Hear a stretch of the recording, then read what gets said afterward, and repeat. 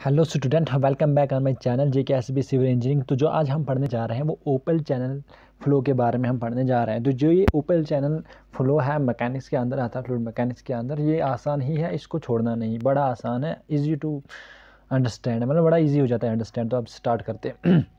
Open channel flow किसे कहते हैं? भाई, क्या ऊपर से वो ओपन होता है, तभी उसको ओपन चैनल फ्लो कहते हैं? ऐसा नहीं है भाई। उसमें दो कंडीशन होंगी तो मैंने यहाँ पर लिखा है टू कंडीशन सेटिस्फाई जब दो कंडीशन सेटिस्फाई किएगा, तभी उसको ओपन चैनल फ्लो हम कह सकते हैं। अब वो दो दो जो कंडीशन है जो फेवर करनी चाहिए, वो कौन सी है? एक फ्री सरफेस दूसरा एटॉमिक प्रेशर फ्री सरफेस बोले तो मान लो मैंने ये एक, नीचे से एक बॉटम पकड़ा हुआ है, ठीक है, ये ग्राउंड लेवल है। तो मैंने एक सेक्शन पकड़ा ये, इसलिए लिखा मैंने सेक्शन वन और दूसरा सेक्शन पकड़ा ये, इसको लिखा मैंने सेक्शन टू और इसके बीच में से फ्लूड मूव कर रहा, आगे की तरफ़ लिखा भी, ऐसे दिखाया है डायरेक्शन आगे की तरफ़ मूव कर रहा है। और ऊपर की ये टॉप सरफेस इसकी है, ठीक है? तो टॉप सरफेस अगर फ्री होगा फ्री होगी तो तो टॉप सरफेस फ्री मतलब क्या हुआ कि टॉप सरफेस पे एयर अगर होगा ओवरले ओवरलाइंग फ्लूड मीडियम जो होगी वो अगर एयर होगा, तब हम कह सकते हैं कि टॉप सरफेस उसका क्या है, वो फ्री सरफेस है मतलब कि वहाँ पर एयर है। तो तभी उसको फ्री सर्विस अगर एयर नहीं होगा, बिल्कुल क्लोज होगा तो तब हम फ्री सर्विस उसको नहीं कह सकते। दूसरा कि वहाँ पर एटॉमिक प्रेशर लगता होगा। देख लीजिए, यहाँ पर अगर एयर है तो वो इसके ऊपर क्या होगा? एटॉमिक प्रेशर डालता होगा ना ऊपर से, इसके ऊपर। तो एयर जो है, इसके ऊपर प्रेशर डालो एटॉमिक मतलब कि एक एक तो टॉप सरफेस पे एयर हो, दूसरा कि एटॉमिक प्रेशर लगता तो ये दो चीज़ें अगर सेटिस्फाई करती है, तभी हम कह सकते हैं कि ओपन चैनल फ्लो है। तो इसकी डेफिनेशन हम देख लो आप। लिखा हुआ है, नेचुरल और मैनमेड स्ट्रक्चर भी हो सकता है in which water flow with free surface and atomic pressure free surface भी है एटॉमिक प्रेशर भी है। फ्री सरफेस बोले तो टॉप वाली सरफेस जो है, वो इन कंटेक्ट विद एयर में है। हवा के साथ इन कंटेक्ट में तो एटमॉस्फेयर प्रेशर मतलब कि एटमॉस्फेयर प्रेशर भी लगता होगा।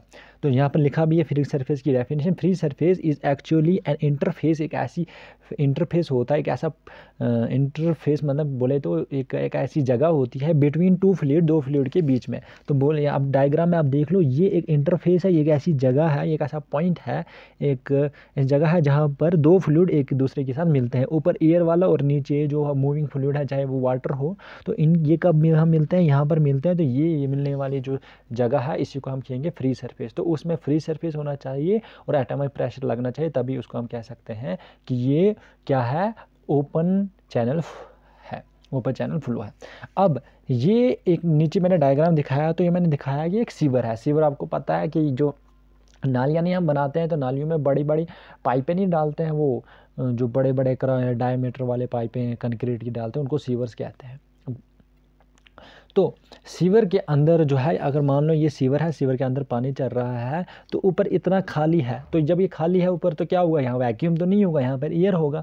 तो अब क्या होता होगा? यहाँ पर एयर और जो ये वाटर है, ये, जो ये इंटर इनके बीच में जो ये इंटरफेस है, इसको कहेंगे फ्री सरफेस और जो एयर है, वह इसके ऊपर प्रेशर भी डालता होगा तो फ्री सरफेस भी है और एटमॉस्फेरिक प्रेशर भी बढ़ रहा है। तो हम कह सकते हैं, जो सीवर है, ये ओपन चैनल है क्लोज चैनल नहीं है। ऐसा समझना नहीं है कि ओपन चैनल ऐसा हो गया जो ऊपर से खुला नहीं ओपन चैनल ऐसा हो गया जिसके ऊपर जो है एयर इन कंटेक्ट या कोई और फ्लूड उसके कंटेक्ट में है। तो अब क्या ऐसा कर सकते हैं, कह सकते हैं पी एटॉमिक बोले तो एटमॉस्फिक प्रेशर जो होता है। तो मैं क्या कह रहा था इसमें कि जो एटॉमिक प्रेशर होता है पी ए जो होता है, वो कांस्टेंट रहता है। आपको पता है टॉप लेवल पे एटॉमिक प्रेशर जो होगा, हर पॉइंट पे कांस्टेंट होगा। इस पॉइंट पे, इस पॉइंट पे, हर पॉइंट पे कांस्टेंट होगा। अगर मैं इसका क्या करूँ? डिफ्रेंशिएट करूँ? Del P upon with respect to X करूँ? डिस्टेंस के करूँ?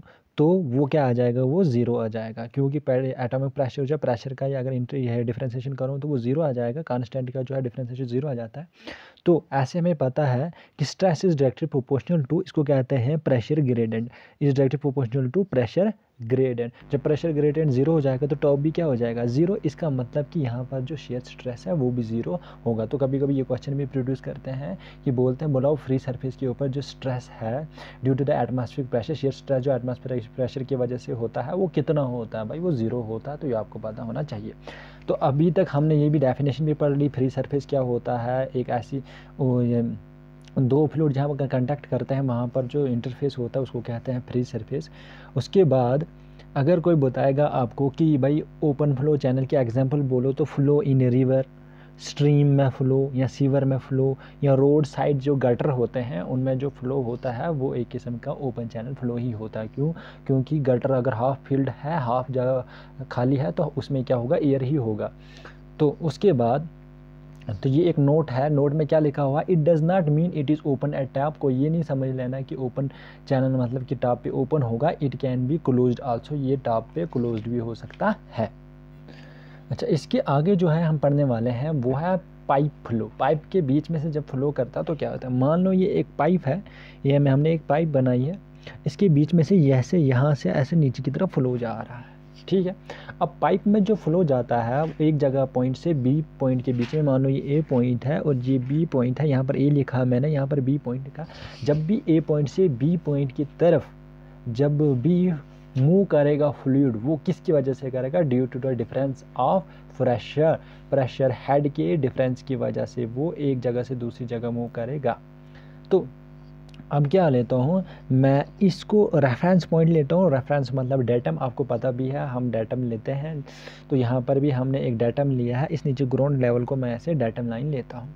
अब ग्राउंड लेवल से इस बी तक जो हेड होगा तो उसको मैं ले ले लेता हूँ। डेटम हेड जेड टू, क्योंकि या जेड टू मान लो या जेड बी मान लो इसको। अगर ये टू पॉइंट है या ये वन पॉइंट है तो इसका जो जो डाटम हेड होगा वो जेड वन होगा। अगर ये टू पॉइंट है तो इसका जो डाटम हेड होगा जेड टू होगा। उसके बाद अब इस पॉइंट का जो प्रेशर है, वो इस पॉइंट बी का जो प्रेशर है, वो कैसे हम मापेंगे? वो हम मापेंगे पीज़ोमीटर लगा के।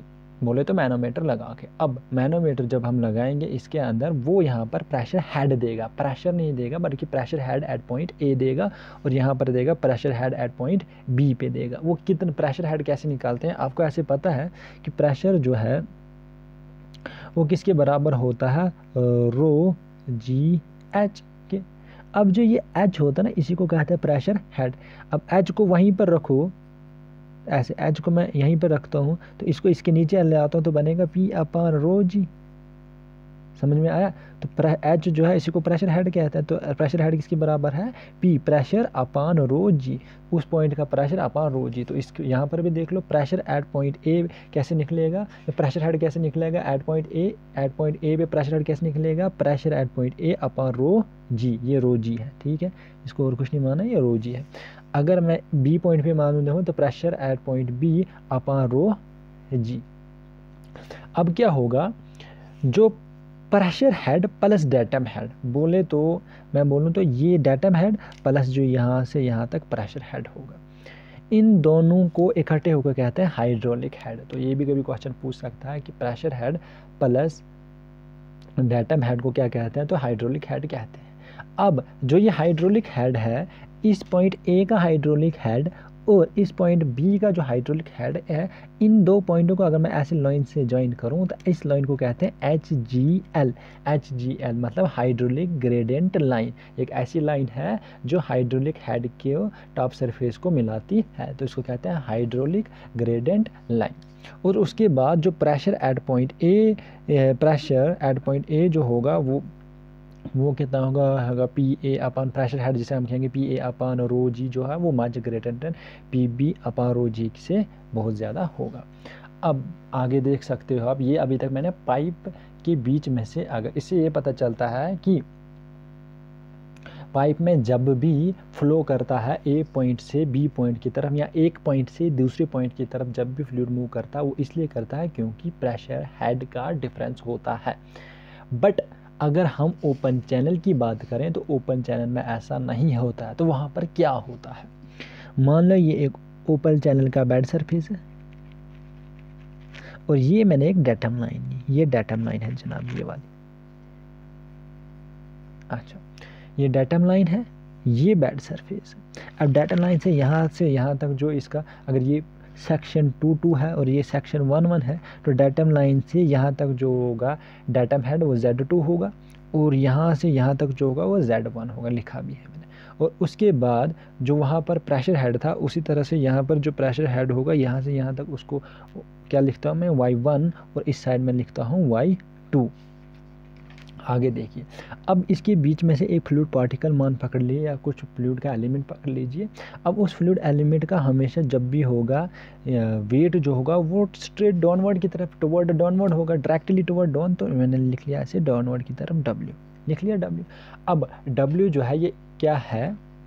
देखिए, ये जो स्लोप है, ये ग्राउंड लेवल के साथ में क्या बनाता है यहाँ पर? थीटा बना दिया थीटा तो ये क्या होगा यहाँ पर? ये 90 डिग्री होगा।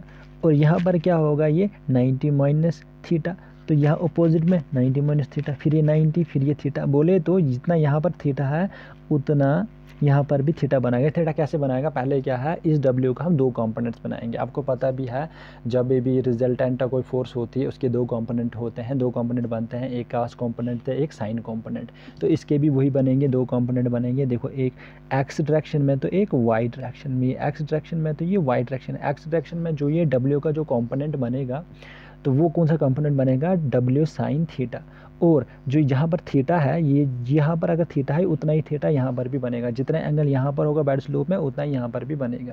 और ये थीटा है जनाब, ये वाला। अगर आपको दिख नहीं रहा होगा, इसलिए मैंने लिखा बार बार, दो बार, एक बार लिख लेता हूँ अच्छे से फिर से। ये कितना है? थीटा ये वाला जो ऐसे है ना, इतना। ये कितना है? थीटा अब इसका कॉम्पोनेंट क्या होगा? डब्ल्यू कास थीटा इसका कॉम्पोनेंट इस साइड में वाई डायरेक्शन में डब्ल्यू कास थीटा और उस साइड में डब्ल्यू साइन थीटा वाला कॉम्पोनेंट अब क्या होगा? तो क्या होगा? हम बताते हैं, ये जो डब्ल्यू साइन का है, थीटा वाला कंपोनेंट है, is responsible for motion of fluid यही रिस्पॉन्सिबल है, इस ओपन चैनल में फ्लूड को मोशन कराता है, इस पॉइंट से उस पॉइंट या एक पॉइंट से दूसरे पॉइंट में। पाइप में ऐसा नहीं था, वहाँ पर प्रेशर हेड का डिफरेंस की वजह से एक जगह से दूसरी जगह, बट यहाँ पर वैसा नहीं है। और जो ये डब्ल्यू कास थीटा है, ये जो है, ये फ्लूड को मूव कराने में कोई काम नहीं करेगा। It will not work because it is perpendicular to fluid जो फ्लूड के परपेंडिकुलर होता है, वो काम कुछ नहीं करता। तो बोले तो डब्ल्यू साइन थीटा एक किस्म की ड्राइविंग फोर्स है एक किस्म की ग्रेविटी लोड या ग्रेविटेशनल फोर्स ग्रेविटेशनल फोर्स है बोले तो ग्रेविटी फोर्स है, जो इसको आगे की तरफ़ खींचती है। ठीक है, मगर कौन सा वाला कॉम्पोनेंट है ये? डब्ल्यू साइन थीटा आगे हम पढ़ते हैं अब। अब इनका डिफरेंस हम पढ़ेंगे भैया ये ये जो है पाइप फ्लो और जो इस साइड में है ओपन चैनल फ्लो इनका डिफरेंस मैं पढ़ाता हूँ एक एक करके आपको। पहला डिफरेंस इसका flow channel take place due to the differ यह प्रेशर डिफरेंस प्रेशर का डिफरेंस होता है, इसलिए फ्लो जो है, यहाँ पर पाइप में फ्लो करता है। और बट यहाँ पर क्या है flow take place due to the किसकी वजह से? डब्ल्यू साइन थीटा या ग्रेविटी की वजह से। दूसरा देखिए, यहाँ पर H G L hydraulic gradient line जो है above the top surface of the pipe line pipe line की जो टॉप सरफेस लाइन है, उससे भी ऊपर एच जी एल होता है। तो देख सकते हो आप, ये टॉप सरफेस है पाइप की। यहाँ से यहाँ तक टॉप सरफेस है, बट इससे भी ऊपर एच जी एल है, ये देखिए कहाँ पर है। दिख गया ना आपको? बट अगर आप ओपन में देखिए in open channel flow H G L lies on the free surface free surface पे ही एच जी एल होता है। एच जी एल में ना हाइड्रोग्रेडेंट लाइन कहाँ पर होती है? यहाँ पर हाइड्रोग्रेडेंट लाइन होती है। अब यहाँ पर हाइड्रोग्रेडेंट कौन सी होती है? Z two plus Z one इस साइड में Z one plus Y one इस साइड में हाइड्रोलिक हेड और इस साइड वाला हाइड्रोलिक हेड तो ये बन गया हाइड्रोलिक एच जी एल वाली line H G L free surface के ऊपर ही होती है। अब तीसरा डिफरेंस क्या है? Pipe are generally rounded pipe generally rounded होती है बट ओपल चैनल कैसे शेप में हो सकता है? यह the can be any shape like triangle shape ये क्या होता है? इसको ये है, ये किस्म का ट्रेपिज्म ऐसे। मैंने लिए बनाया है। ट्रेपिज्म शेप भी हो सकता है और ऐसे ही रेक्टेंगुलर शेप भी हो सकता है। अब क्या इतने आगे बनाया गया बताया गया है। Reynold number is use for analysis analysis करने के लिए रिनोल्ड नंबर इस्तेमाल किया जाता है। अब रिनोल्ड नंबर किसके बराबर होता है? रिनोल्ड नंबर होता है inertia force upon visco viscosity force या इसको हम ऐसे भी लिख सकते हैं। R E is equal to rho V D upon mu but इसको अगर देखा जाए तो यहाँ पर जो है फ्रॉड नंबर इस्तेमाल किया जाता है एनालिसिस करने के लिए। ये भी कभी पूछ सकते हैं कि ओपन चैनल में एनालिसिस करने के लिए क्या आता है। तो वहाँ पर फ्रॉड नंबर जो लगता है तो एफ़ आर जो है बराबर होता है root of inertia force upon gravity force तो इसको हम ऐसे भी लिख सकते हैं V upon under root G D V क्या होता है? विलासिटी डी क्या होता है? हाइड्रोलिक डेप्ट भी कहते हैं। तो आगे देखिए सर। आगे क्या है? In case of open channel flow open channel flow में क्या होता है? रिनोल्ड नंबर अगर लेस देन 500 हो तो लेमिनार फ्लो मानते हैं। रिनोल्ड नंबर अगर ग्रेटर देन 500 हो और लेस देन 2000 है, मैंने यहाँ लिख लिया है 200 2000 है तो वो क्या माना जाता है? ट्रांजिशन फ्लो बट अगर रिनोल्ड नंबर 2000 से ज़्यादा हो तो टर्मिनेंट फ्लो बट अगर हम उसमें पाइप में जाएँ तो रिनोल्ड नंबर अगर टू थाउज़ेंड से लेस हो तो लेमिनार फ्लो वहाँ पर किससे लेस फाइव हंड्रेड से लेस देखिए। और यहाँ पर किससे? टू हंड्रेड या टू थाउज़ेंड से लेस पाइप। और रिनॉल्ड नंबर अगर टू थाउज़ेंड से फोर थाउज़ेंड के बीच में ट्रांजिशन और फोर थाउज़ेंड से ग्रेटर हो तो टर्बुलेंट तो ऐसा क्वेश्चन भी भी पूछ सकते हैं। बताओ which of the following statement is true in case of open channel flow या in case of pipe laminar flow यहाँ से यहाँ तक बोलो कहाँ तक है या ट्रांजिशन फ्लो कोई भी क्वेश्चन इनमें से क्रिएट करके वो डाल सकता है तो आपको ये पता होना ज़रूरी है। इसके आगे जो मैं आपको पढ़ाना चाहता हूँ, यहाँ तक ख़त्म हो गया। अब मैं आपको पढ़ाऊँगा कि टाइप्स ऑफ़ चैनल चैनल जो ओपन फ्लो चैनल्स हैं, इसके बहुत सारे टाइप्स हैं। तो फ़र्स्ट टाइप जो है artificial and natural channel artificial पता ही चल जाता है मैन मेड को कहते हैं आर्टिफिशियल नेचुरल होते हैं, जो by given by nature nature से बने होंगे। हमने तो नहीं बनाए हैं भाई नेचर की वजह से बने हैं। अब आर्टिफिशियल कौन से आ गए? कैनाल सीवर आ गए भाई। आर्टिफिशियल चैनल्स तो तो हम ही बनाते हैं। कैनाल भी हम ही बनाते हैं सीवर भी हम ही बनाते हैं। बट अगर देखा जाए रिवर लेक अच्छा स्ट्रीम ये सारे आ गए नेचुरल चैनल्स उसके आगे जो आता है prismatic and non prismatic channel कभी कभी पूछ सकता है कि प्रिस्मेटिक और नॉन प्रिस्मेटिक क्या होता है। प्रिस्मेटिक चैनल की डेफिनेशन ये लिखी है इस डेफिनेशन से आप समझ लोगे। क्या होता है?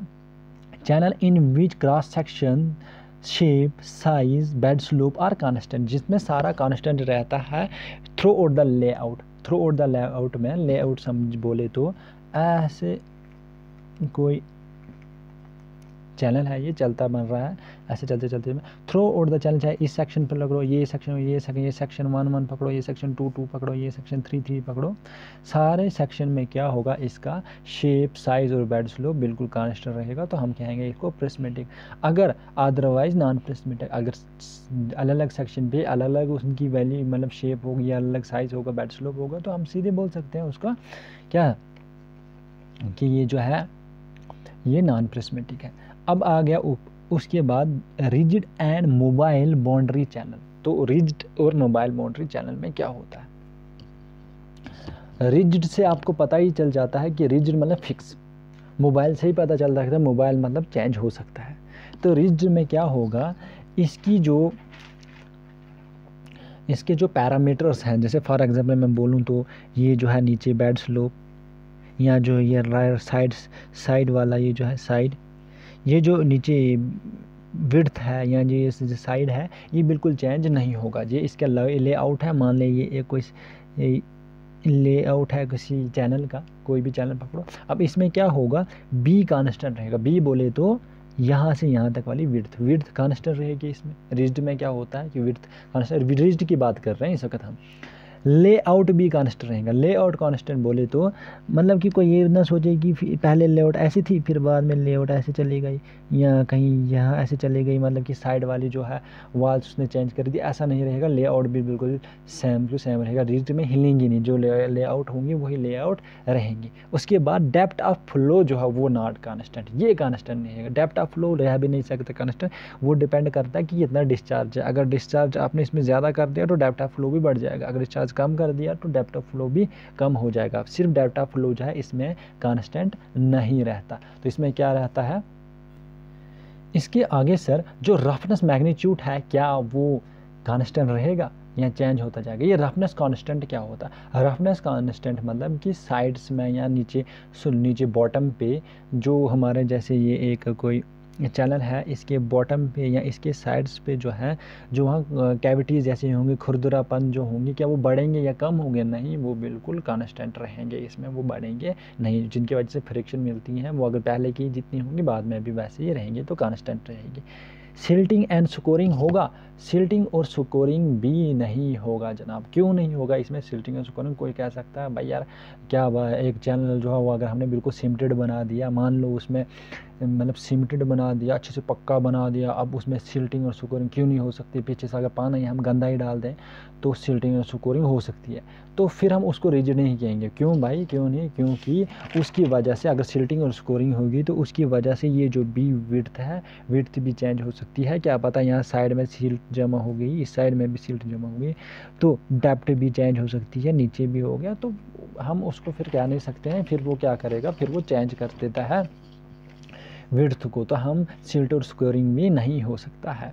तो बोले तो नंबर ऑफ़ अब कोई बताएगा उसको नंबर ऑफ़ फ्रीडम कितनी है इसमें? नंबर ऑफ़ फ्रीडम्स कितनी है? ये क्या होता है number of freedom number of freedom मतलब कि इसमें क्या चेंज हो सकता है? इसमें जो है, सिर्फ़ चेंज जो हो सकता है, वो एक चीज़ हो सकता है, उसे कहते हैं डेप्ट ऑफ़ फ्लो चेंज होता है। तो नंबर ऑफ़ फ्रीडम कितनी है?